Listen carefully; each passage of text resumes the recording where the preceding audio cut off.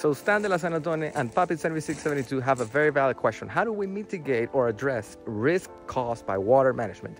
Let's talk about that. So the first thing that we have to say is that we did soil studies for it. Second thing is that even though we do the soil studies, we would need still to do water management drainages. So this is what we did. Over there, all the water that comes here goes to this planter and then goes around that drainage all the way there, all the way there, and all the way there. All the water that comes from here goes to this drainage all the way there because we already had not a flood, but we already, as you can see, got all these drainages clogged because of the loose dirt. Another very, very important way to address this is to use vegetation, landscape all this. So we have this area free of debris.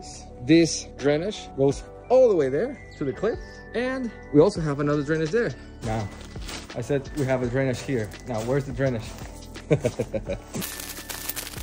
we have this hidden drainage that has that comes from that sideway from the entrance all the way here. This is actually a very nice way we did this because we wanted to keep this as a yard as a private yard. And maybe it could be landscaped later after it's clean but this way we still have the drainage and now you don't see where it is.